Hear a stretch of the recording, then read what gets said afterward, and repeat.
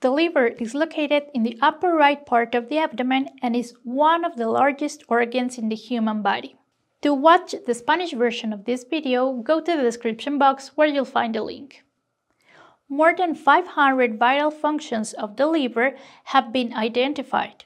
Some of the best known are store vitamins, minerals, iron, and sugars, secrete bile, an essential element for digestion, process food for nutrients and energy, synthesize proteins that help fight infections, regulate blood coagulation, which prevents bleeding, balance and produce glucose as the body needs it, and cleans the body of toxins, both those produced naturally by the body, say ammonia, and those we ingest, for example, alcohol and certain medications.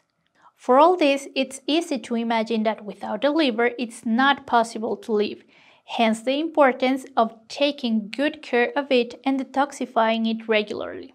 Liver diseases are disorders of the liver that cause it to function incorrectly or to stop working altogether. The main ones include hepatitis. The most frequent are those of viral origin, for example, hepatitis A, B, and C.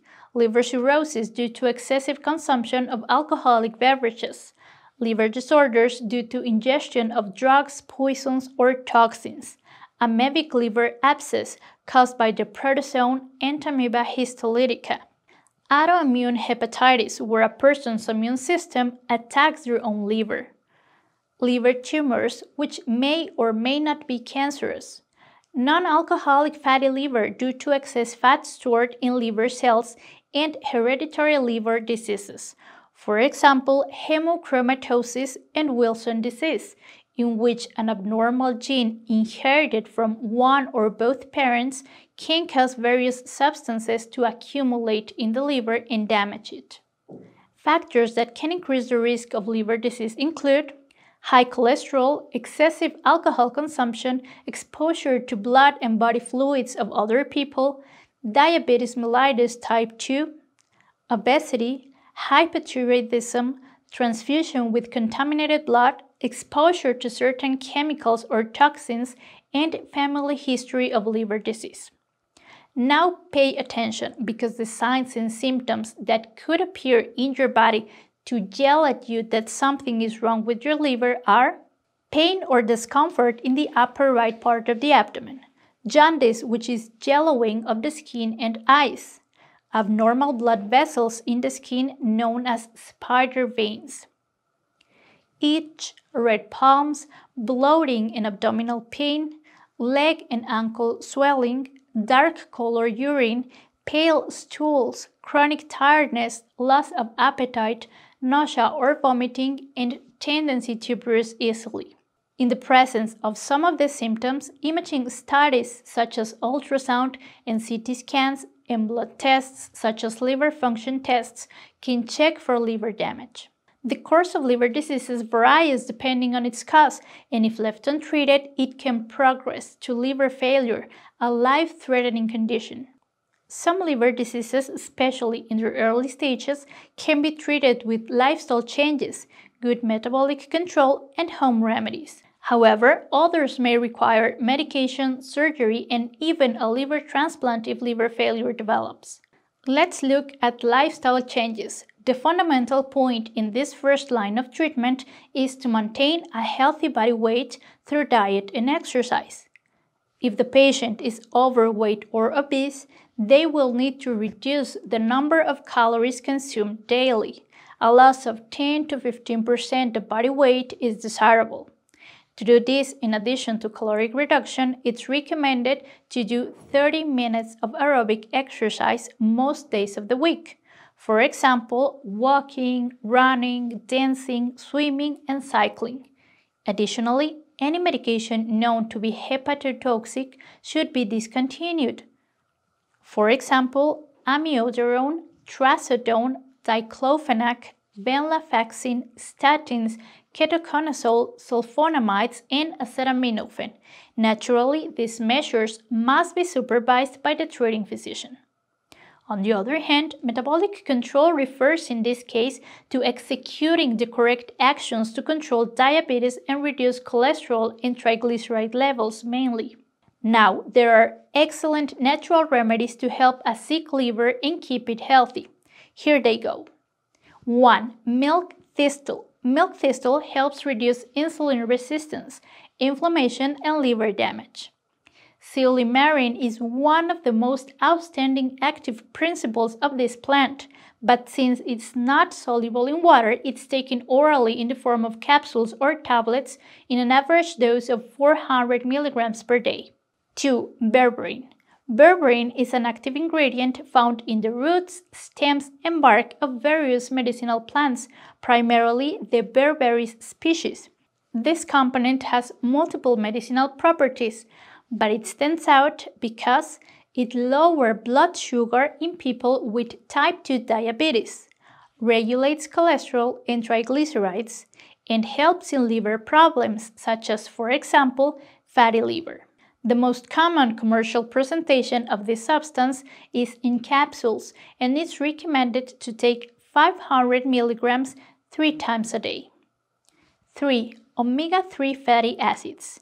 These products are also very useful in liver disease.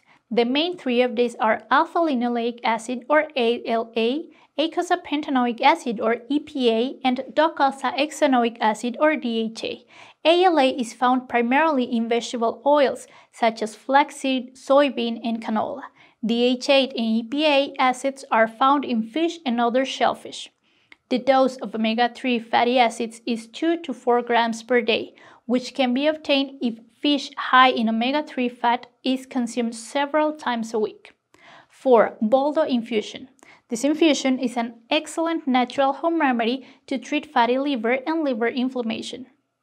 The preparation requires 2 grams of dried boldo leaves and a cup of water. The leaves of the plant are placed in boiling water, then the preparation is left to stand for a few minutes and that's it. It should be taken immediately after being prepared. It's recommended to consume a cup 3 to 4 times a day. And 5. Artichoke infusion. Artichoke infusion is also a magnificent natural remedy that helps detoxify the liver. The ingredients required to prepare it are 30 to 40 grams of dried artichoke leaves and 1 liter of water. The artichoke leaves are placed in the hot water and the preparation is left to boil for 5 minutes. Then strained, allowed to cool, and that's it. It's recommended to drink a cup 3 to 4 times a day. The aforementioned products can be purchased in community markets and specialized stores. They can also be purchased online. Whichever remedy has been chosen, it's recommended to take it for two weeks in a row and then whenever it's required. Even though its consumption is quite safe, as precaution is not recommended in pediatric patients, pregnancy, or lactation. At another point, as already mentioned, there are also severe life disorders that must be treated with medication surgery, or transplantation, in which case the remedies described above are only adjuvants, and the patient should put himself in the hands of a specialist doctor. On the other hand, changes to make to your diet depend on how well your liver is working, but general recommendations include preferably eat foods with carbohydrates, eat fats in moderate amounts as directed by the doctor, the increase in carbohydrates and fats helps prevent the breakdown of proteins in the liver. Eat approximately 100 grams of protein per day. It's recommended to look for proteins that are not of animal origin, which can be found in beans, tofu, and dairy products, for example. Take vitamin supplements, especially B vitamins and reduce salt intake as this can worsen the accumulation of fluids in the body and inflammation of the liver. We end the topic with a sample of a specific menu for people with liver disease. Here it goes. Breakfast. An orange, a cup of cooked oatmeal with milk and sugar, a whole wheat toast, strawberry jam, and a cup of coffee or tea. Lunch.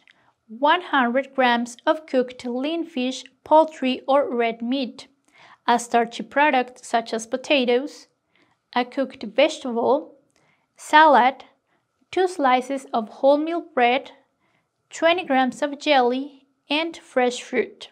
Dinner 100 grams of cooked meat or fish or poultry without skin, a starchy product, salad, 2 whole wheat rolls, fresh fruit, and 300 milliliters of low-fat milk. Alcoholic beverages, fried foods, and raw or uncooked shellfish such as oysters and clams should be avoided.